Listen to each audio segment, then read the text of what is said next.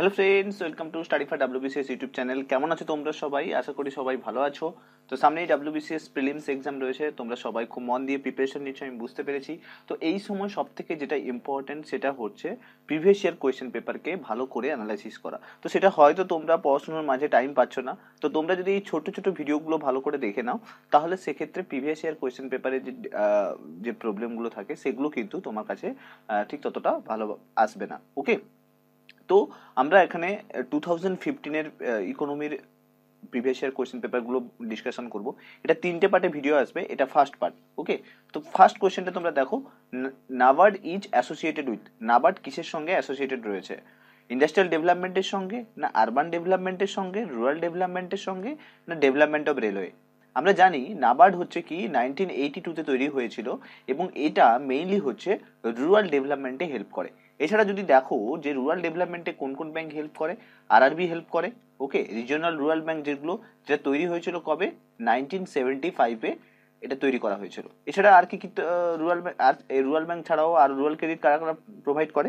Primary agriculture credit society এটা কিন্তু এটা কিন্তু হচ্ছে তোমার রুরাল ক্রেডিট যেটা থাকে সেটাকে কিন্তু প্রোভাইড করে। এটা অলরেডি ডব্লিউবিসিএস প্রিলিমসে কোয়েশ্চেনটা এসছে। তো এই রিজিওনাল রুরাল ব্যাংক এবং প্রাইমারি এগ্রিকালচার ক্রেডিট সোসাইটি এবং নাবার্ড এরা তিনজনেই কিন্তু হচ্ছে তোমার রুরাল ক্রেডিট যেটা সেটাকে হচ্ছে প্রোভাইড করে। এছাড়া আমরা যদি দেখি যে কমার্শিয়াল ব্যাংক যেগুলো, সেগুলোও কিন্তু রুরাল ক্রেডিট প্রোভাইড করে। বাট শুধুমাত্র রুরাল ক্রেডিট নয় রুরাল ক্রেডিটের সঙ্গে সঙ্গে বিভিন্ন সার্ভিস লোন বা যেটা হচ্ছে তোমার সার্ভিস লোন ছাড়াও রুরাল ক্রেডিট এবং পার্সোনাল লোন যেগুলো থাকে সেগুলোও কিন্তু কমার্শিয়াল ব্যাংক প্রোভাইড করে।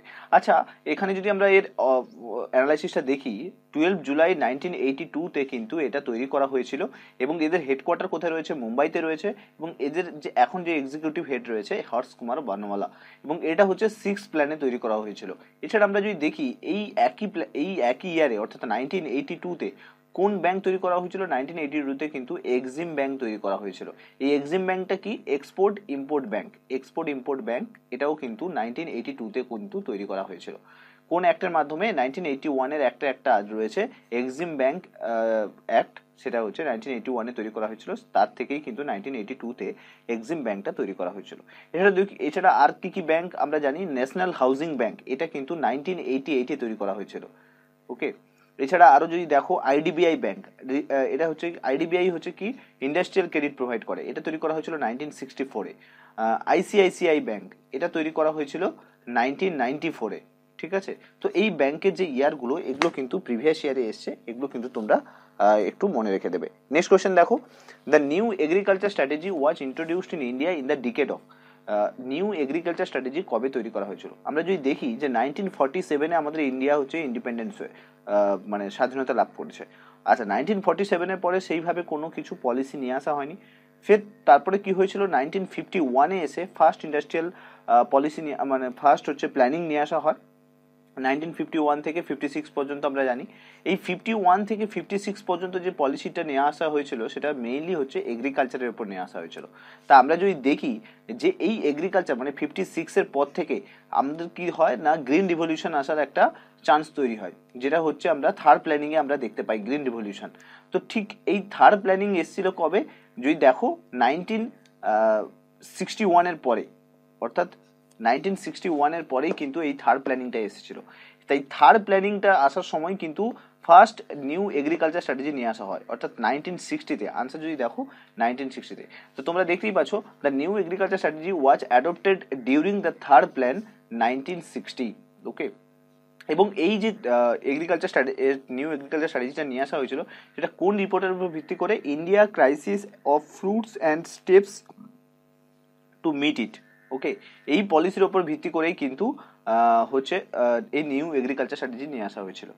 ক্লিয়ার আচ্ছা এখানে কয়েকটা জিনিস তোমাদের জানা আছে, যেরকম গ্রিন রিভলিউশন গ্রিন রিভলিউশনটা এসেছিল কিন্তু নাইনটিন সিক্সটি সিক্সে যেটা হচ্ছে থার্ড প্ল্যান থার্ড প্ল্যানের কিন্তু এই গ্রিন রিভলিউশনটা নিয়ে আসা হয়েছিল। এছাড়া আমরা যদি দেখি হোয়াইট রিভলিউশন বা হোয়াইট রিভলিউশন যেটা, বা হচ্ছে ডেয়ারি ডেয়ারি রিভলিউশন যেটা, সেটা নিয়ে আসা হয়েছিল কবে? সেটা হচ্ছে নাইনটিন এইটিতে ওকে এছাড়া আরও যদি দেখো ব্ল্যাক রিভলিউশন মানে কি? ব্ল্যাক রিভলিউশন আমরা জানি। ব্ল্যাক রিভলিউশন মানে হচ্ছে কি? পেট্রোলিয়াম বা পেট্রোলিয়াম যেটা পেট্রোলিয়াম প্রোডাকশন যেটা, সেটাকেই আমরা ব্ল্যাক রিভলিউশন বলি। ক্লিয়ার আচ্ছা গোল্ডেন রিভলিউশনটা কাকে বলি? গোল্ডেন রিভলিউশন হচ্ছে হর্টিকালচার যে আমাদের যে আমরা যে হর্টিকালচার প্রোডাক্টগুলো তৈরি করি, সেটা হচ্ছে কিন্তু গোল্ডেন রিভলিউশনের আওতায় আসে। ঠিক আছে? তো টোটাল রিভলিউশনে একটা চার্ট পাবে, এই রিভলিউশনের চার্টটা কিন্তু ভালো করে করে নিও। ক্লিয়ার নেক্সট কোশ্চেন দেখো। The credit cooperative institution at the village level is called এক্ষুনি তোমাদের সঙ্গে আলোচনা করলাম যে রুরাল যে ক্রেডিটটা সেটা হচ্ছে প্রোভাইড করে RRB regional rural bank NABARD যারা এগ্রিকালচারেও হেল্প করে, আর কে? এই প্রাইমারি এগ্রিকালচার ক্রেডিট সোসাইটি ঠিক আছে? এই প্রাইমারি এগ্রিকালচার ক্রেডিট সোসাইটি হচ্ছে তোমার হচ্ছে রুরাল ক্রেডিট যেটা কোঅপারেটিভ ইনস্টিটিউশন হিসেবে কাজ করে। তো আনসার হবে প্রাইমারি এগ্রিকালচার ক্রেডিট সোসাইটি ঠিক আছে? নেক্সট কোয়েশ্চেন দেখো। তো এখানে এক্সপ্লেনেশনটা তোমরা দেখতেই পাচ্ছ যে primary agriculture credit society is a basic unit and smallest cooperative eddy credit institution India its work on the grass root level grass root level মানেই এখানে বলেছে রুরাল সোসাইটিকে বোঝাচ্ছে, গ্রাম পঞ্চায়েত এবং village লেভেলকে industrial credit is available from industrial credit কোথা থেকে provide করা হয়? আমরা কয়েকটা আগের কোয়েশ্চেনে এক্সপ্লেনেশন করতে গিয়ে দেখতে পেয়েছি। দেখো, এখান থেকে তোমরা বুঝতেই পারছ যে আগের কোয়েশ্চেনগুলোকে তুমি যদি ভালো করে এক্সপ্লেনেশন করো, তাহলে কিন্তু বাকি যে কোয়েশ্চেনগুলো আসছে, সেগুলো কিন্তু ওরই ওপর ডিপেন্ড করে আসছে। দ্যাটস ওয়ে আমি তোমাদেরকে বলি যে প্রিভিয়াস ইয়ার কোয়েশ্চেন পেপারকে ভালো করে অ্যানালাইসিস করো। ইন্ডাস্ট্রিয়াল ক্রেডিট প্রোভাইড করে IDBI ICICI okay IFCI okay, আর এসএফসি এই চারটে ব্যাংক কিন্তু ইন্ডাস্ট্রিয়াল ক্রেডিট প্রোভাইড করে। তো এখানে আইডিবিআই রয়েছে, তাহলে হবে আইএফসিআই এটাও হবে এসএফসি এটাও হবে, এবং তাহলে আনসার হবে all of the above IDBI কত সালে তৈরি করা হয়েছিল? নাইনটিন সিক্সটি ফোরে আইসিআইসিআই নাইনটিন নাইনটি ফোরে আর আইএফসিআই হচ্ছে নাইনটিন ফর্টি এইটে এটা ফার্স্ট তৈরি করা হয়েছিল। আর এসএফসি আমরা জানি স্টেট ফিনান্স কর্পোরেশনের কথা বলেছে। এটা বিভিন্ন স্টেটে বিভিন্ন সময় তৈরি করা হয়েছে। তো দ্যাটস ওয়াই ইন্ডাস্ট্রিয়াল ক্রেডিটকে প্রোভাইড করে। এটা চারটে ব্যাংকই প্রোভাইড করে। তোমরা এখানে দেখে নিলে। নেক্সট কোয়েশ্চেন দেখো। তাহলে এখান থেকে দেখতেই পাচ্ছ যে ইয়ার্সগুলো আমি এখানে এক্সপ্লেনেশনে তোমাদের দিয়ে দিয়েছি। সো ক্লিয়ার তোমাদের কাছে এগুলো এখন? ওকে নেক্সট কোয়েশ্চেন দেখো। How many private and commercial bank were nationalized in nineteen sixty nine nineteen sixty নাইনে কতগুলো ব্যাংকে ন্যাশনালাইজ করা হয়েছে? আমরা জানি যে আরবিআই কবে ন্যাশনালাইজ হয়েছে? এটা তোমরা যদি জেনে থাকো, তাহলে কমেন্ট বক্সে কমেন্ট করে জানাবে। ঠিক আছে? কমেন্ট বক্সে কমেন্ট করতে কিন্তু ভুলবে না। গত দু তিনটে ভিডিওতে আমি কমেন্ট করতে বলেছিলাম, তোমরা কেউ কমেন্ট করনি। কিন্তু বারবার বলছি, এই কমেন্টগুলো করো। যত বেশি এই জায়গাগুলোতে ইনভলভ হবে, তত বেশি কী হবে? তোমার মাথার মধ্যে ওগুলো কিন্তু একটা ছাপ ফেলে যাবে। দ্যাটস ওয়াই আমি তোমাদেরকে বলি কমেন্ট করো। তো how many private and commercial bank were nationalize nineteen sixty nine তো আরবিআই কবে ন্যাশনালাইজ হয়েছে তোমরা জানো? তো নাইনটিন সিক্সটি নাইনেও একটা ন্যাশনালাইজেশন হয়েছিল, যেটা হচ্ছে চোদ্দোটা চোদ্দোটা কমার্শিয়াল ব্যাংকের ন্যাশনালাইজেশন দিয়ে দেওয়া হয়েছিল, অর্থাৎ ন্যাশনালাইজ করা হয়েছিল। তো আনসার এখানে ফোরটিন ব্যাংক হবে। এখানে দুটো কোয়েশ্চেন আমি তোমাদেরকে বলতে চাই। যে ফার্স্ট অফ অল আসি, যে ব্যাংক যেটা ব্যাংকের যে আরবিআই যেটা তৈরি করা হয়েছিল কোন কমিশনের মাধ্যমে? আরবিআই তৈরি করা হয়েছিল কিন্তু হিল্টানিয়ান কমিশনের মাধ্যমে। ওকে আচ্ছা যদি বলে যে নাবার্ড কোন কমিশনের মাধ্যমে তৈরি করা হয়েছিল? নাবার্ড তৈরি করা হয়েছিল কিন্তু শিবরামন কমিটির সুপারিশে। ওকে আচ্ছা আরবিআই যে রিফর্ম নিয়ে আসা হয়েছিল, সেটা কোন কমিটি নিয়ে এসেছিল? আরবিআই রিফর্ম নিয়ে এসেছিল কিন্তু নার্সিমা কমিটি। এটা কিন্তু দুটো এসেছিল নাইনটিন নাইনটি ওয়ানে নার্সিমা ওয়ান আর নাইনটিন নাইনটি টুতে নার্সিমা টু ঠিক আছে? এই আরবিআই ন্যাশনালাইজেশনটা কিন্তু হয়েছিল। ক্লিয়ার নেক্সট কোশ্চেন দেখো। তাহলে এখানে দেখতেই পাচ্ছ চোদ্দোটা লার্জেস্ট কমার্শিয়াল ব্যাংকে ন্যাশনালাইজ করা হয়েছিল নাইনটিন জুলাই নাইনটিন সিক্সটি নাইনে এবং এদের, এই যে ন্যাশনালাইজেশনটা হয়েছিল, তার eighty five percent of bank deposit in the country এই ব্যাঙ্কগুলোর কাছে যত পরিমাণ ডিপোজিট ছিল, সেটা কিন্তু total country eighty five percent ব্যাংকে যে ডিপোজিটটা রয়েছে, তার পার্সেন্টেজ হিসাবে দেখলে প্রায় পঁচাশি পার্সেন্ট টাকা কিন্তু এই চোদ্দোটা ব্যাংকের কাছেই ছিল।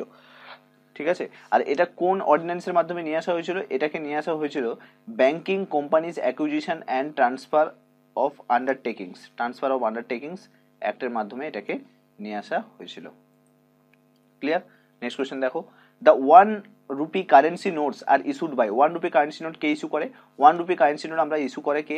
ওয়ান রুপি কারেন্সি নোট কিন্তু ইস্যু করে হচ্ছে ministry of finance clear ministry of finance আর যদি বলে আরবিআই কি করে? আরবিআই হচ্ছে মনিটারি পলিসি তৈরি করে।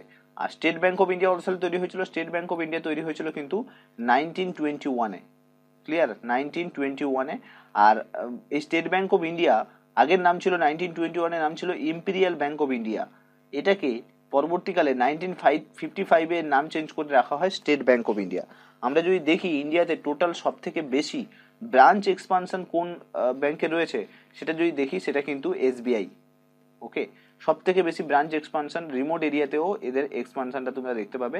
তাই এটা হচ্ছে state bank of India recently question যদি করা হয় রিসেন্টলি কোন ব্যাংক এসবিআই সঙ্গে মার্চ হয়েছে? সেটা হচ্ছে ভারতীয় মহিলা ব্যাংক এই ব্যাংকটাকে কিন্তু এসবিআই সঙ্গে মার্চ করে দেওয়া হয়েছে। ক্লিয়ার তো এই ব্যাপারগুলো তোমাদের কিন্তু ভালো করে জানতে হবে। এখানে তোমরা দেখতেই পাচ্ছ যে currency all the paper currency of India except one rupee notes bears the signature of RBI governor এক এক টাকার নোট ছাড়া বাকি সব যে পেপার কারেন্সিগুলো থাকে, সেই কারেন্সিগুলোতে কিন্তু আরবিআইয়ের গভর্নরের কিন্তু সাইন থাকে। বাট এক টাকা যেটা থাকে rupees one bears the signature of the finance secretary finance secretary সিগনে থাকে এবং যেটা গভর্নমেন্ট অফ ইন্ডিয়া ইস্যু করে। অর্থাৎ এক টাকার নোটটা শুধুমাত্র গভর্নমেন্ট অফ ইন্ডিয়া ইস্যু করে বাট এক টাকার নোট বাদ দিয়ে বাকি সব কিছুতে কিন্তু কে ইস্যু করে? আরবিআই ইস্যু করে। ক্লিয়ার ওকে এখানে একটা জিনিস কোয়েশ্চেন আসছে আমি তোমাদের মকেও দিয়েছিলাম যে আরবিআই যেটা থাকে আরবিআই মনিটারি পলিসি হ্যান্ডেল করে। এই মনিটারি পলিসি ইনফ্লেশন টার্গেটিংয়ে কি হেল্প করে? আমি এটা মকেও তোমাদের দিয়েছিলাম যে কে হচ্ছে ইনফ্লেশন টার্গেটিংয়ে হেল্প করে। আমি যে মকের কোয়েশ্চেনগুলো দিই, সেগুলো কিন্তু যথেষ্ট ভেবে চিন্তেই দিই। একটু কনসেপচুয়াল রয়েছে দিই, যাতে তোমরা এই ব্যাপারগুলো সম্বন্ধে একটু আইডিয়া করে নিতে পারো। ঠিক আছে? তুমি যদি ওপর ওপর দিয়ে কোয়েশ্চেনগুলোকে হ্যান্ডেল করো, তাহলে কিন্তু তুমি কখনোই কিন্তু ডিপ অ্যানালাইসিসগুলো করতে পারবে না। যত বেশি ডিপ অ্যানালাইসিস করবে টপিকটা সম্বন্ধে ভালো করে তোমাদের ক্লিয়ার হবে। এখানে তোমাদেরকে আর একটা কোয়েশ্চেন বলি, যে পেমেন্টস ব্যাংক যেটা রয়েছে পেমেন্টস ব্যাংক কোন কমিটির সুপারিশে তৈরি করা হয়েছিল? পেমেন্ট ব্যাংক কিন্তু নচিকেত মোর কমিটির সুপারিশে তৈরি করা হয়েছিল। এটা রিসেন্টলি তৈরি হয়েছে, এটা নিয়ে কোয়েশ্চেন আসতে পারে। এই পেমেন্টস ব্যাংক কিন্তু সমস্ত ক্রেডিট কার্ড এবং ক্রেডিট কার্ড ইস্যু করতে পারে না। বাট ডেবিট কার্ড ইস্যু করতে পারে। এটা কিন্তু খেয়াল থাকে যেন। ডেবিট কার্ড ইস্যু করতে পারে। ক্লিয়ার ক্রেডিট কার্ড ইস্যু করতে পারে না বাট ডেবিট কার্ড ইস্যু করতে পারে। এইখানে একটা ভালো কোয়েশ্চেন আছে, যেটা হচ্ছে লিড ব্যাংক স্কিম এটা কি ভালো করে তোমরা গুগলে জেনে তৈরি করে নেবে। লিড ব্যাংক স্কিম কি? এটা রিসেন্টলি নিউজে আছে, তো এটা নিয়ে দেখে নেবে। আচ্ছা আর একটা খুব নিউজে আছে, সেটা আমি বলে দিচ্ছি তোমাদেরকে। Liquidity crunch okay liquidity crunch কি? এটাও নিউজে আছে, এটাকেও দেখে নেবে ভালো করে। আচ্ছা আর একটা যেটা হচ্ছে এনপিএ ইস্যু এনপিএ ইস্যু কিন্তু খুব নিউজে আছে। তোমরা তোমাদেরকে ডাব্লিউবিসিএস পার্সপেক্টিভে যেটা জানতে হবে হোয়াট ইজ এনপিএ এনপিএটা কি? এটা ডাব্লিউবিসিএস পার্সপেক্টিভে জানতে হবে বাট ইউপিএসসি অ্যাসপেক্টে তুমি যদি জানার চেষ্টা করো what is NPA issue NPA issue কিন্তু খুব নিউজে আছে। আরেকটা যেখানে খুব ভালো জানার রয়েছে, সেটা হচ্ছে ব্যাড লোন কি? আমি তোমাদেরকে সবই কারেন্ট রিলেটেড কি কি কোয়েশ্চেন আছে আমি সব বলে দিচ্ছি। ব্যাড লোন কি এটাও রিসেন্টলি খুব নিউজে আছে। এবং যারা ইউপিএসসি প্রিপারেশন তাদেরকে বলতে চাই যে section RBI act section seven section seven কিন্তু সেকশন সেভেন নিয়ে কিন্তু খুব নিউজে চলছে। অর্থাৎ আরবিআই এবং গভর্নমেন্টের মধ্যে যে একটা টাসেল চলছে সেটা নিয়ে সেকশন সেভেন কিন্তু নিউজে আছে। তো যারা ইউপিএসসি প্রিপারেশন নিচ্ছে তারা কিন্তু এই জায়গাগুলো ক্লিয়ার করে রাখবে। তো থ্যাঙ্কস ভিডিওটা দেখার জন্য। আর যদি ভিডিওটা তোমাদের ভালো লাগে, তাহলে লাইক করবে এবং চ্যানেলটাকে গিয়ে সাবস্ক্রাইব করবে যদি সাবস্ক্রাইব না করে থাকো। আর যদি তোমাদের কোনো কোয়ারি থাকে, তাহলে কমেন্টে কোয়ারিটা জানাবে। আর ভিডিওটাকে যতটা সম্ভব বন্ধুদের সঙ্গে শেয়ার করো। থ্যাংক ইউ ভিডিওটা দেখার জন্য। নেক্সট ভিডিওতে আবার তোমাদের সঙ্গে দেখা হবে।